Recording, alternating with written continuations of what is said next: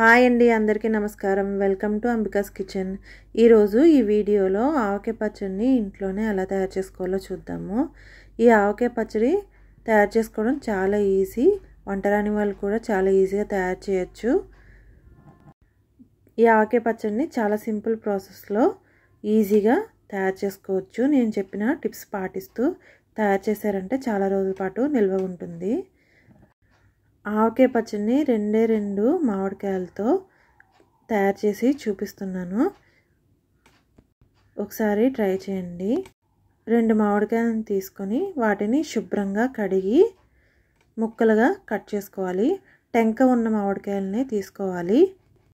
మామిడికాయలో టెంక అనేది ప్రతి ముక్కకి వచ్చేలా మనం ముక్కల్ని కట్ చేసుకోవాలి. ముక్కల్ని కొద్దిగా పెద్ద సైజులోనే కట్ చేసుకోవాలి.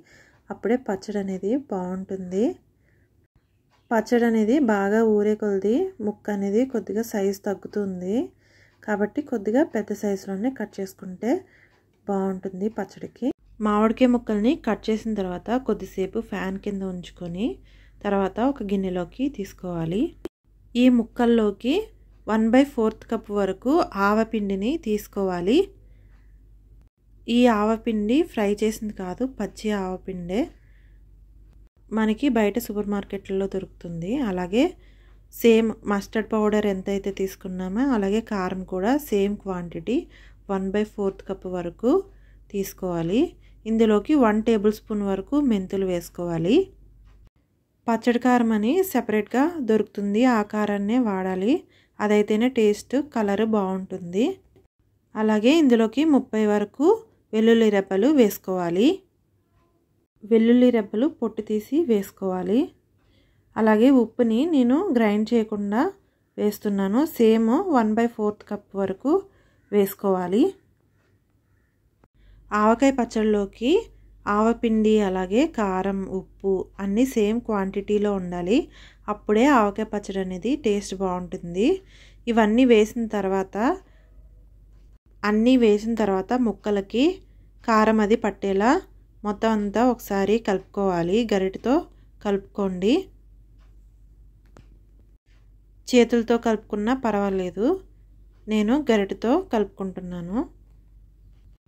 కారం ఉప్పు అన్నీ కరెక్ట్గా సరిపోతాయి.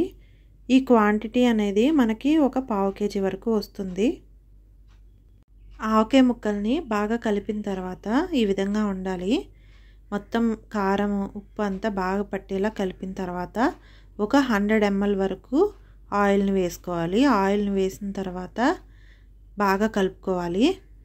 ఆయిల్ని ఇప్పుడే ఎక్కువగా వేసి కలపకూడదు. మనం కొద్దిగా వేసుకొని కలుపుకోవాలి. ఈ ఆవకాయ ముక్కల్ని కింద నుంచి పై వరకు కలుపుకోవాలి. ఈ పచ్చడిలోకి నేను నువ్వుల నూనె వాడుతున్నాను. అలాగే వేరుశనగ నూనె కూడా వాడుకోవచ్చు. అవైతేనే టేస్ట్ బాగుంటాయి. పచ్చడి ఎక్కువ కాలం నిల్వ ఉంటుంది. అలాగే ఇలా కలిపిన తర్వాత పచ్చడిని మూడు రోజుల పాటు ఒక పొడి ప్లేస్లో తడి లేకుండా ఉండే ప్లేస్లో స్టోర్ చేసుకోవాలి. ఏమాత్రం తడి తగిలినా పచ్చడి అనేది పాడవుతుంది. కాబట్టి పొడిగా ఉండే ప్లేస్లోనే మనం స్టోర్ చేసుకోవాలి. బాగా కలిపిన తర్వాత బాగా కలిపిన తర్వాత ఈ పచ్చడిని మూత పెట్టి మూడు రోజుల వరకు పక్కన పెట్టాలి. ఈ పచ్చడి మూడు రోజుల తర్వాత మనకి ఆయిల్ కానీ ఉప్పు కానీ ఏమీ సరిపోకపోతే అప్పుడు మళ్ళీ యాడ్ చేసుకోవాలి. నాకైతే అన్నీ కరెక్ట్గా సరిపోయినాయి. ముక్క అనేది కొద్దిగా ఊరి ఆయిల్ అనేది పైకి తేరుతుంది. అంతేనండి ఈ వీడియో కనుక మీకు నచ్చినట్లయితే లైక్ చేయండి షేర్ చేయండి సబ్స్క్రైబ్ చేసుకోండి. థ్యాంక్ యూ ఫర్ వాచింగ్ తప్పకుండా మీరు కూడా ఇంట్లో ఒకసారి ట్రై చేసి చూడండి చాలా ఈజీగా పెట్టేయచ్చు. చాలా టేస్టీగా కూడా ఉంటుంది.